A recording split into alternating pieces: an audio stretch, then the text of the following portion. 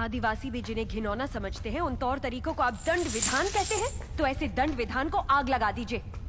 अपने न्याय शास्त्र को गंगा में बहा दीजिए अपने शासन को सूली पर चढ़ा दीजिए। जिस राज्य की मति भ्रष्ट है उसका माहिष्मति जैसा बड़ा नाम छी! देवसेना इस महान साम्राज्य के बारे में अगर एक और अपशब्द भी निकाला? बड़ी बड़ी प्रतिमाओं और ऊँचे ऊँचे सिंहासनों से महान साम्राज्य नहीं बनता राजमाता। एक विशाल हृदय से बनता है। लगता है वो यहाँ किसी के पास नहीं है। धिक्कार है। देख लिया महाराज, आपके सामने इतनी निर्लजता के साथ बात कर रही हैं तो सोचिए मेरे सामने आपके बारे में कितनी तुच्छ बातें कही होंगी। सोच के देखिए महाराज।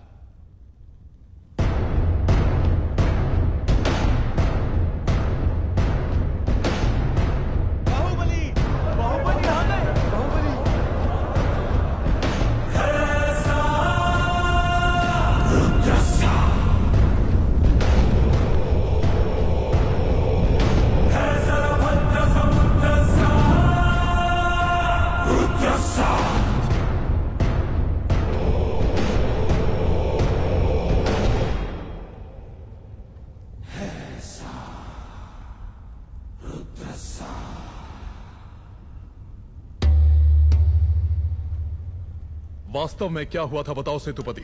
शिवालय भक्तों से भरा हुआ था महाराज। देवसेना भी वहाँ दर्शन के लिए आई। तभी आपके आने आने का समय हो गया था। तो मैंने उनसे कहा कि वो मुख्य द्वार की जगह दूसरे द्वार से आए। बाहु ये क्या व्यवहार है? तुम पीड़ित को धमका रहे हो।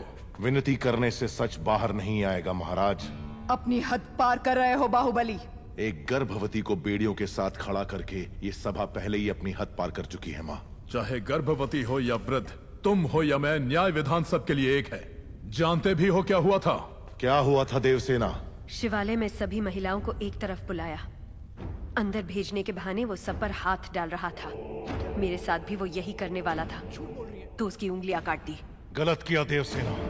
औरत पर हाथ डालने वाले की उंगलियाँ नहीं काटते। काटते हैं उसका।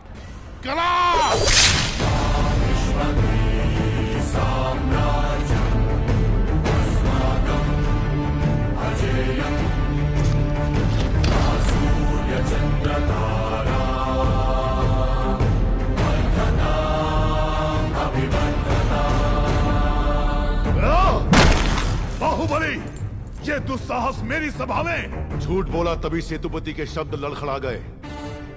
निर्दोष है तभी देवसेना ने निडर होकर सब सच कह दिया। सेतुपति दोषी साबित हुआ।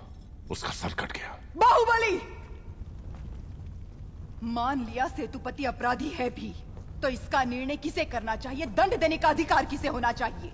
तुम्हें या महाराज को? या फिर तुम खुद को महाराज मानते हो? गोद भराई के दिन तुम्हारी पत्नी चाहती थी कि महाराज तुम्हें बनना चाहिए।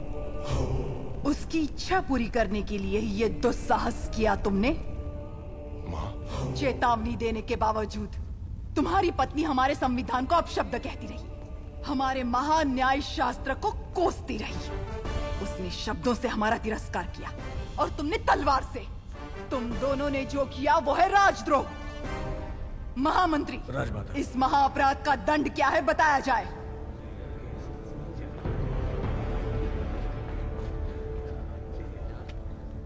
राजकुटुंब से यदि ऐसा अपराध होता है तो उन्हें राजमहल से सदा के लिए बहिष्कृत कर दिया जाए राजमाता। इस पर अमल किया जाए। तुम दोनों अभी इसी क्षण इसी स्थिति में ये राज प्रांगण छोड़कर निकल जाओ। एक और आपका विधान है दूसरी ओर आपका सिखाया हुआ धर्म। इन दोनों के बीच जो संघर्ष है उसमें मेरी तलवार धर्म की ओर झुक रही है माँ। पद छीन लिया जाए या बहिष्कार कर दिया जाए माहिष्मती की सेवा के लिए, उसकी रक्षा के लिए मैं हमेशा तैयार रहूँगा। क्या कभी अंबर से